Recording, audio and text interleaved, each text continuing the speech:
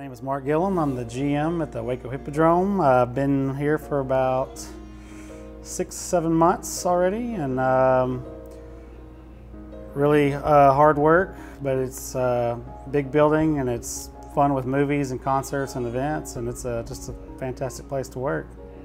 Uh, main duties of a general manager for me is customer service and making sure uh, all the customers are taken care of from the moment they walk in the door to the moment they leave. So it's it's not your average restaurant where people sometimes just come in and grab a drink or about to eat and they're in and out in an hour. You know, if they come in to watch a movie or an event, I mean, a, a movie can be up to two and a half hours long. And we recommend that uh, customers come in 30 minutes early while the lights are on so they can see the menu and order some food and hopefully get that food right before the movie starts.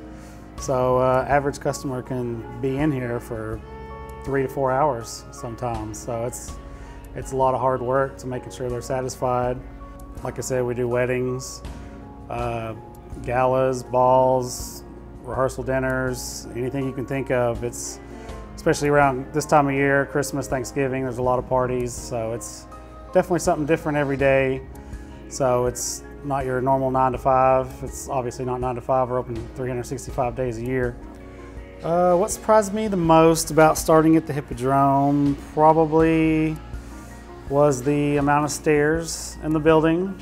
Um, like I said before, the elevator has been down for the last four days, which has been a big inconvenience for any of us trying to go back up to the kitchen. So you, you really don't realize how many stairs are in this building until you work here and you have to go up and down them like we did this weekend.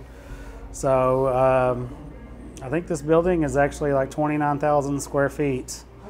So it's it's a lot of ground to cover, like kitchen on the third floor, and your balcony, and then your dining room and bar on the second, orchestra, green room, office on the first.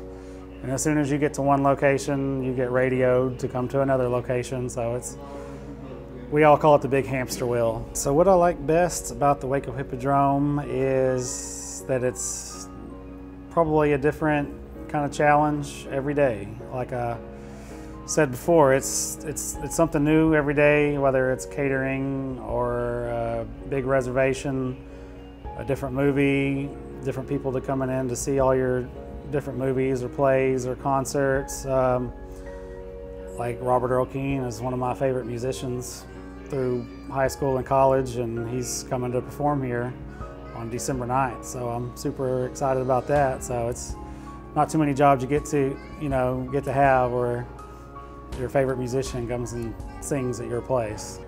A lot of people might not know, but there's a tunnel that runs from that green room underneath all the way up to our museum.